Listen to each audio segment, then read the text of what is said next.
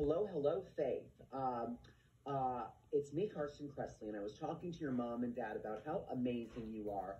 Uh, they were telling me about your advocacy work for other special need kids, and um, I just think that's so wonderful how you make everyone feel loved and accepted. And I know your mom and dad are so proud of you. So we just wanted to say um, thanks for being awesome. Keep up the great work. Keep inspiring us. Uh, keep inspiring us all.